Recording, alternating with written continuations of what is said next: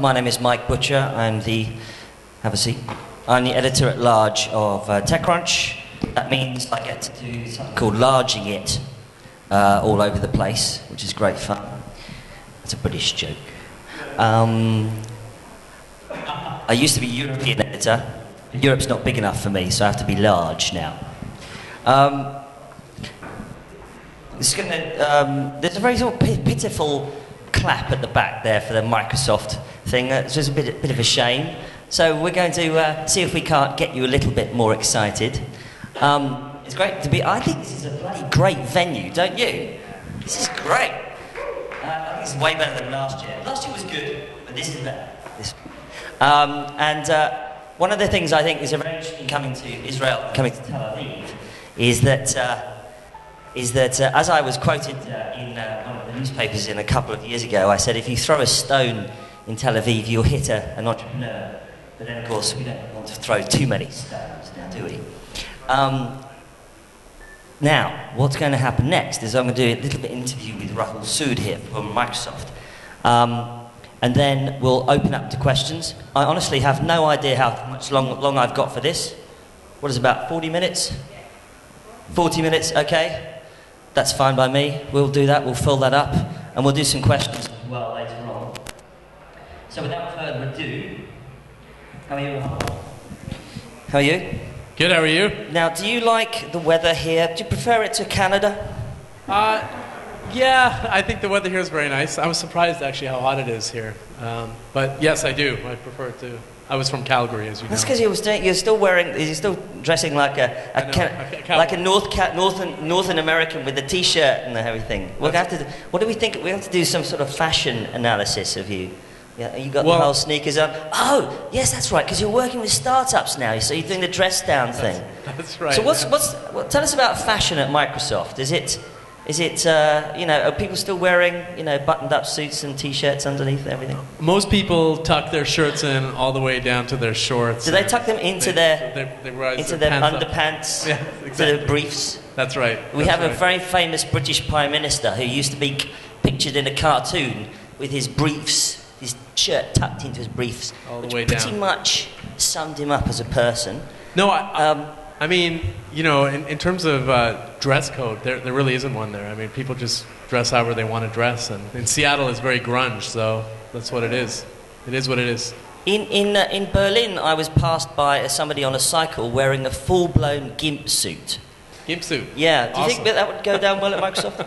I don't know if anyone, uh, does people know what a gimp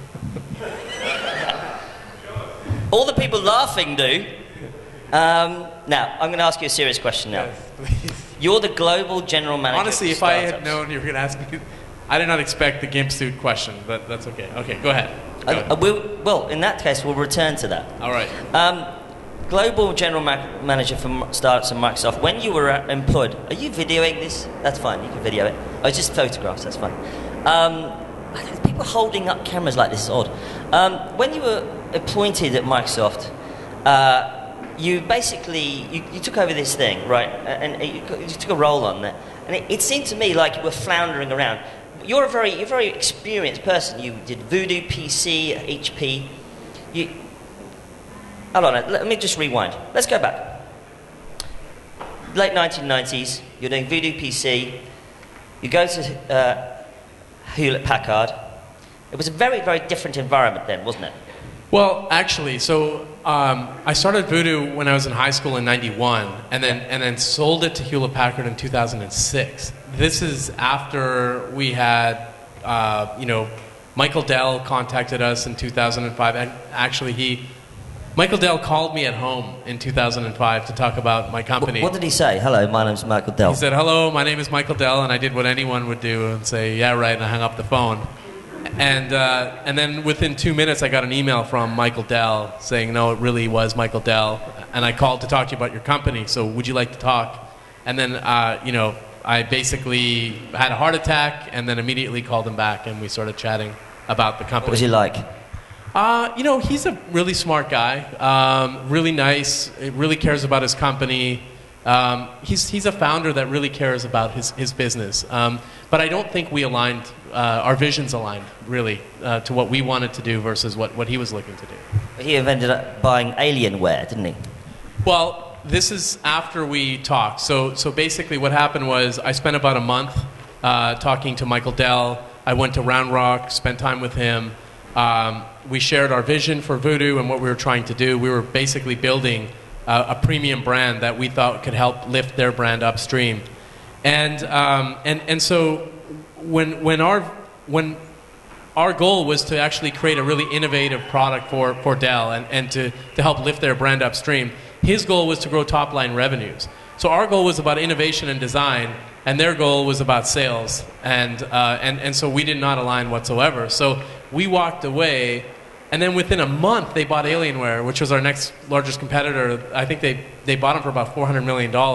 And that's when HP came and started really, really hitting us up hard to, to, to buy us. And so, you know, uh, I don't know what to say about that. I mean, uh, HP bought the company in 2006. Um, I was there. I was super excited, you know, at, at first. I mean, when, when you build, as, as any founder knows, when you build a company from the ground up, you care about the culture, you care about the brand, and, and you're really building a, uh, a culture and a product that, uh, that generates evangelism and it becomes the soul or the foundation of your brand, essentially. And, uh, and, and none of that meant anything to anybody at HP. So, you know, at first everything went really well I spent about um, a year working there, and then I spent about two years physically. My body was there, but my mind was somewhere else completely. So the culture of HP sucks. Is that what you're saying? Uh, well, I, am just saying that the culture was completely different from, you know, when as, as, a, as a founder, there's, there's got to be something you think about when you think of the culture of a company. For example, at Microsoft, the culture at Microsoft is a culture of giving. It, and it stems from Bill Gates. It stems oh, from. come on. I'm serious. I am absolutely serious. I have to tell you that there, there is a complete polar opposite um, kind of uh, perception of Microsoft from the outside than there is on the inside. But when you're on the inside, this culture of giving is really there. It is because every year we have this giving campaign. We all do the, all this charitable work and this and that. But but that's the foundation of the company. You know. Um, the, the, the, culture at, uh, at, at, at, every company you can think of, at Ferrari, it's a foundation of racing. You know, at Apple, it's, it's, it's about creating you know, really beautiful products. That, that, well, it's that, about sort of Nazi-style secrecy around technology sure, projects. Sure, but there's always something you think about when you think about the foundation of a company. So as a founder, when you're creating your company, you think, what is it that I want to create, and what is the soul of the culture of my company? And at HP, I, I just couldn't identify that soul. I, I, I couldn't put a face to the company. Like, when you think about the company, when you think about Apple, who do you think about? Well, obviously Steve Jobs. Right. And when you think about, you know, Ferrari, you think of Enzo Ferrari. When you think of Microsoft, you think of Bill Gates. Every time I thought of Hewlett Packard, I couldn't think of a, of a person. When I thought of Dell, I thought of Michael Dell. So you always think about the founder.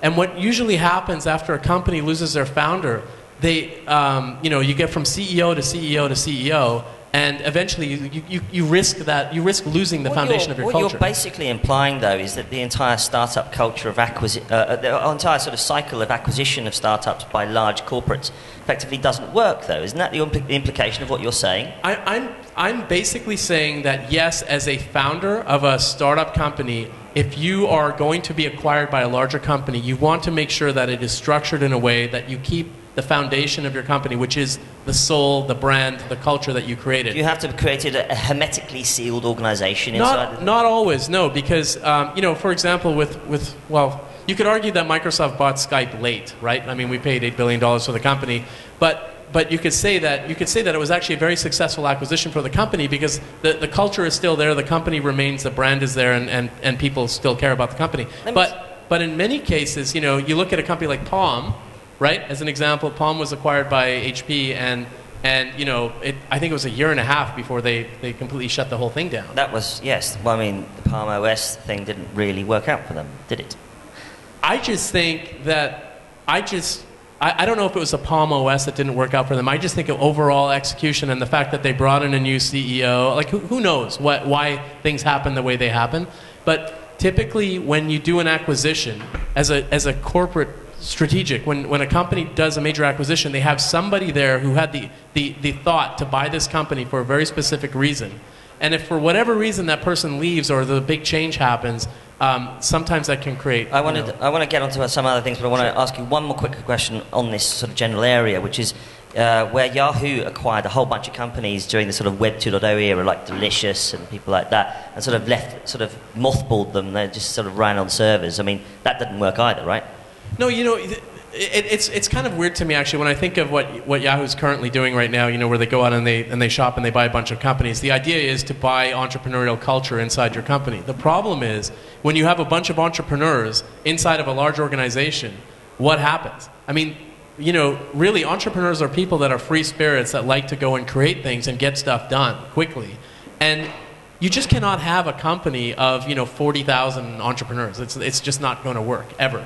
And so I don't know. We're like herding cats. Yeah, it's like herding cats. So, so you know, entrepreneurs. I mean, my team is full of entrepreneurs, and I have to say, my team is probably the most culturally diverse and globally dispersed team at Microsoft. I would argue, and many entrepreneurs. And entrepreneurs are very emotional people. You know, we really care about delivering something, and and.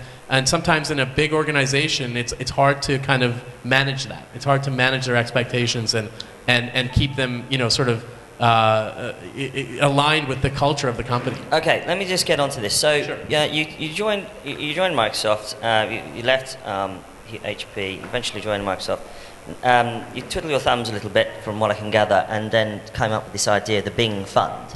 Yes. And so, this is a fairly early days for this. Now, what I would like to know from you is that Microsoft is now operating a number of different programs. We've got Microsoft Ventures, we've got the BizSpark program, BizSpark One, and now we've got Bing, Bing Fund. Now, uh, all of these admittedly are somewhat overlapping. You've also got the accelerators, which are building out globally now. You've got announced one in uh, Israel, of course. Uh, you've announced in uh, Sao Paulo. I mean, this is getting a little bit complicated. It's- Are we not going to see the point where, this is my my question, is that are we not going to the point where startups are now going to have a problem? There'll be turf wars now internally inside Microsoft about who's going to deal with these startups and what's going to happen next. Isn't that going to be create chaos? No, you know what? Uh, in fact, um, your your um, your your point about all the different brands and all the different teams is absolutely correct. But but the consolidation was Microsoft Ventures. So in other words, um, you know, I started the Bing Fund inside of Microsoft because I was looking for something to do. And, and I wanted to do something that I understand. I understand entrepreneurs. I was an angel investor. I had invested in 40 companies uh, myself. Um, and you know, every time I would go out to the startup ecosystem and speak to my friends, they would be like, they would say to me, the first thing they would say is, "Why are you still at Microsoft? You know, what are you doing at Microsoft?" And and and I realized that you know, in the company where you're surrounded by brilliant people, everybody is smarter than me. What am I going to do to add value? And, um, and so I went out and decided that Microsoft needs to, we, we, we, have a, uh, a bunch of things that we need to think about. First of all, these, the, the startup ecosystem is changing. The barriers for entry for technology have never been lower, the accelerants have never been higher. And, uh, and because of that, you can have small teams go out and create really disruptive things. Second thing is, from a perception standpoint, Microsoft really, we missed the, uh, the open source movement. And as a result of that, Well, Microsoft missed the internet, it missed the open source movement, it missed uh, mobile, it missed quite a number of things. So, didn't it? so there's a lot of things that we did is, it- well. is there any real guarantee that it's not going to carry on missing no, things? well, you know, you know what? There, there's a lot of things that the company has missed. A lot of things that the company has done well. I mean, you know, um, I, I don't want to sort of get into the, you know, the cash and how it keeps adding to the balance sheet and all of that other stuff because it doesn't mean anything. What what re- what really matters is that you know the the company is um, we. We did miss in the open source movement, right? And we did, we, we, we, we need to change the perception. We needed to go out and create a program, that I believe, that would really resonate with entrepreneurs. Because, the open source movement is fundamentally opposed to Microsoft, surely. well, you see, the problem is Completely that si- different sides of the fence. the, the problem with the open source thing is there's outdated perceptions that open source is actually cheaper than, than, than Microsoft, and that Microsoft does not embrace open source, neither of which is true. We actually do embrace open source. For example, our cloud, Azure, is fully open source compatible now. It's fully, you know, you can, you can do infrastructure as a service and you can host anything on it. And, and so let me finish my initial thought about, about the different brands you talked about. So we had all these teams working on different things. I was working on the Bing Fund. Zach was working on accelerators. Uh, we had this other team working on BizSpark. And, you know, we had like 20 different teams working on 20 different things for startups. And eventually, you know, uh, uh, we just got together and said, like, enough is enough. We have to come up with a program that will resonate with entrepreneurs around the world and come up with a very clear value proposition. And that is how Microsoft Ventures came about. So all of this stuff that you talk about, BizSpark, accelerators, everything, it all rolls up under one team. That's the team that I'm running right now. That is called Microsoft Ventures. And our value proposition is really clear. It's, you know, we have the largest footprint in the enterprise. We have the most customers in the enterprise space than, than anybody. And, and we're a very large company. We know how to build software. So imagine if you, if you are building a software company and you want access to the enterprise, we can help you. So we'll help you build your business and we'll help you get access to customers that, that you won't be able to get anywhere else very quickly. I think, I mean, it, it sounds wonderful on paper, but one of the things, though, I mean, what if, if I'm a consumer uh, oriented startup? Does that mean you guys aren't interested? No, not at all. In fact, um, in fact, from a consumer standpoint, you think about it as a, a B2B2C type thing. You know, we have many of our enterprise customers deal with consumers, and, and believe me, all of these companies, like the majority of these big companies, are freaking out about the startup space right now. They're freaking out about entrepreneurs being able to go out and, you know, three to four to five people can go out and create a company that can disrupt them in a massive way. So they all want access to these entrepreneurs and they all want access to be able to, to, to innovate like this. And so we have a platform that helps them connect to entrepreneurs. Our accelerators are amazing and we're, we're bringing in we're bringing in Fortune 500 partners into our accelerators to work with these companies that are coming out of the accelerators. It's pretty amazing. Um, one thing though, um, you've got um, you've still got this perception problem though. I mean, how long do you think it's going to be before you know your nirvana start, does exist where you know you are embraced by open source movement. Journalists stop using macbooks and start using pcs uh, windows surface or whatever. Yeah. i mean what, how, how long do you think that have you got a five year plan? Is it like a chinese great leap forward or how, what's the window on well, this? Well, look you know in, in, in a world where uh, you know we have challenges right? Um, we have we have a we have a number of different challenges to, to, to face but let me just put it this way the best thing we can do at Microsoft Ventures is to help create successful startups. If we can do that and we can demonstrate really great exits, um, then over time we're going to start to change perception.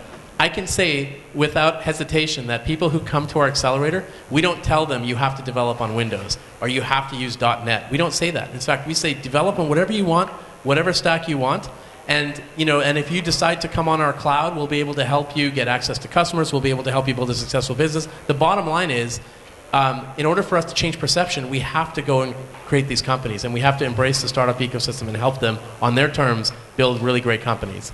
Um, as far as the rest of it goes, as far as Windows and all the other stuff that, that, that, that's going on, look, I'm just trying to build a brick house inside of a tornado at Microsoft Ventures, right? You, when I say a tornado, look, we've had reorgs. You know, we have Steve B just announced that he's leaving the company. You know, we have a new CEO that's you know will be coming on. I'm sure Steve at some Ballmer. point in time. We don't know who that will be. Yeah. Um, and uh, and so you know whatever happens, it is a big company, and big company stuff is going to happen. But you know, I just want to make sure that Microsoft Ventures is really successful, and, and what's going to dictate our success is creating. how dependent are you on an entirely new uh, CEO coming in and thinking, well, this is great, guys. I, I love what you're doing here, but we're totally See you later. reorienting Yeah. the company now. We've decided to go and uh, go up against uh, uh, Ford. somebody, Ford, Yeah, yes, exactly. GM. We're going to start building cars now, not software anymore. You know. I, I, I don't I don't see that happening. I, I really think that Microsoft has a um, you know it's a it's a very large company. It's got a lot of businesses. It's a complex organization. Um, you know I, I can't imagine getting a CEO for such a big company with so many different businesses is going to be easy. But but I will say this um, that the the company is has has some great leaders at the most senior level of the organization. We have some amazing leaders. We have people like Tony, uh, Tony Bates, Satya Nadella, Qi Lu, like some amazing, amazing thought leaders. And, um, and, and ever since this, this whole reorg came about, and everybody is working on, you know, their, and we have one P&L now, not seven, I think the company is starting to behave like one company. It's actually a really neat, you know, So, place to uh, be. so l- let's talk Turkey. Are you making an investment? Any investments? Have you made any? Are you about to announce any? What's what's? Give, give us some news so we can we'll tweet it or something. sure. So, so we made a number of investments, um, and and we, you know, as far as our seed investments go, we made a number of investments. We just made our first seed investment as Microsoft Ventures in Israel that we're announcing today in a company that went through our accelerator. It's called Sky Giraffe, um, and. Uh,